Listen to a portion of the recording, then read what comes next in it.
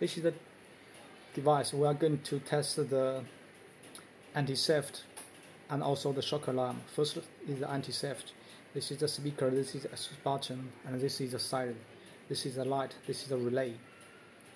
Now at this mode you can see the light is on, but if we press the remote, the siren will make one sound, and if we do not disarm the remote, any attempt to turn on the engine will fail. So you can see light will go off because the device has command the relay to turn off the engine.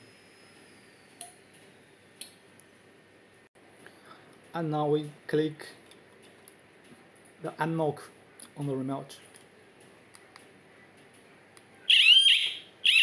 It will make two sounds. And now we try to activate the ACC. So you will see the light does not go off. Now we put the device back to arm state. Device will, will make one sound. If we shake the device, the device will make make alarm.